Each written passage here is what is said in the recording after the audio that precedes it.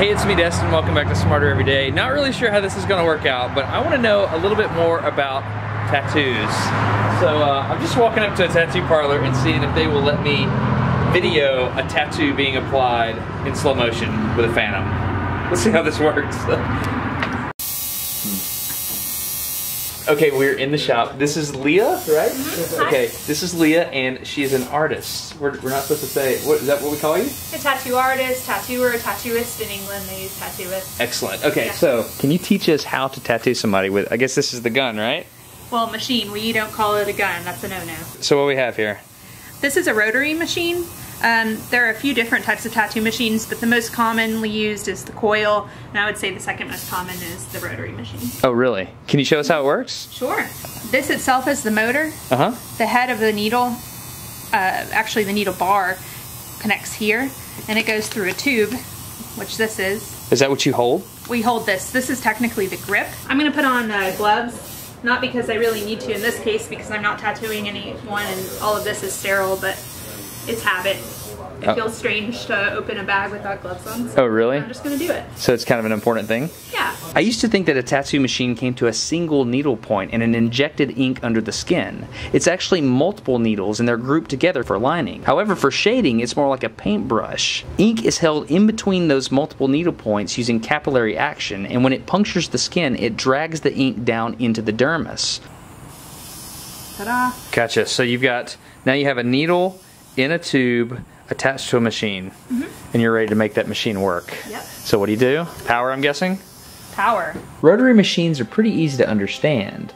Here, this motor has rotational motion, and it's translated to linear motion here at the needle bar. That's pretty simple, right? Coil machines, however, are a bit more complicated. When Leah steps on this foot pedal, that direct current is applied to the two coils. This turns those coils into an electromagnet and it pulls this armature bar down, moving the needle. When the armature bar moves down, it breaks the circuit away from the contact screw, and that causes the electromagnetic field to collapse. The spring then returns the armature and it re energizes the circuit. This just happens over and over again, and that's it. That's how a coil machine works. One word of caution though just because you understand how a coil machine works doesn't mean you know how to use it. Did you really tattoo yourself? Yeah, I'm wasted. You did it? Yeah, Let me see. It's ridiculous. Oh, That's what happens. That's what happens. So it's a bad idea? It's a very bad idea. And what's your name? Sean. Sean says do not tattoo yourself. Go to a professional like Leah, right? Please go to Yes. your local professional. Okay, now that we know how the machines work, it's time to investigate what the needles are doing to the skin. I brought special lights and a special macro lens so we can record it at first 1500 frames per second and then ramp it up to 3200 frames per second. This is why tattoos hurt.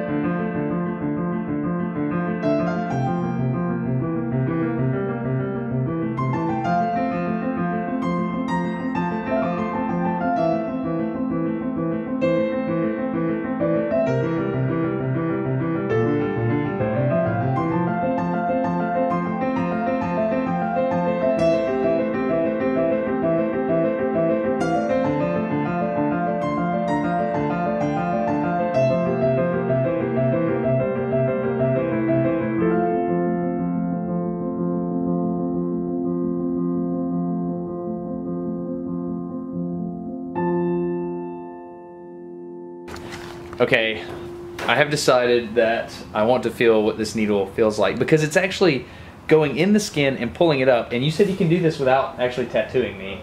Yeah, I'm not gonna use it. I'm just gonna use a needle. I'm a little nervous. I want to know what it feels like, but I don't want to tattoo. This is the next best thing, right? Yeah, exactly. Okay, deep breath in. Deep breath in, breathe it out slowly. That wasn't bad. Okay, Okay, I can handle that. that was it. Okay, what did you do? See there? Oh, I can see why people get addicted to that. Because it's like a ru- it's like fear. Yeah, So this was the lining needle and this Yeah. was the shading needle. correct. And how many needles were on the lining needle? Five, And how many were on the shading needle? seven. There you go. Smarter every day. On the front of your forearm, I think it hurts more than the back. You think I could take it? Of course you could. All right, so I hope you enjoyed this episode of Smarter Every Day. If you want to continue getting smarter by letting me do crazy stuff, please support Smarter Every Day on audible.com. So go to audible.com slash smarter. You can download any audiobook you want for free. I have uh, I have learned that Leah actually reads a lot. Do you have a book that you would recommend? yes, I'd recommend Native Son by Richard Wright. Yeah? Okay, just just continue. Okay. Anyway, so uh, anyway, audible.com slash smarter, that helps smarter every day and is probably going to pay for Leah's work here. So um, also follow Leah and CJ. I'll leave links in the video description. She's a really cool Instagram account. You see what I mean about the frosting, right? I do. How it elevates the top layer of skin there. I do. Okay, so when you Are we getting smarter every day? yeah. you actually know about Smarter Every Day? Yeah, I'm subscribed to it. Oh, fantastic. Was this done here? It was, Leah did it. Awesome. Crazy. Did I just get cred because that guy knew who I was? Yes. Okay, excellent. awesome. Not just some weirdo coming to my shop. All right, so this is your famous tattoo? I posted on Reddit and it got a few hits. That's awesome. Do you like macaroni and cheese? Yes. Anyway, I'm Destin. You're getting smarter every day.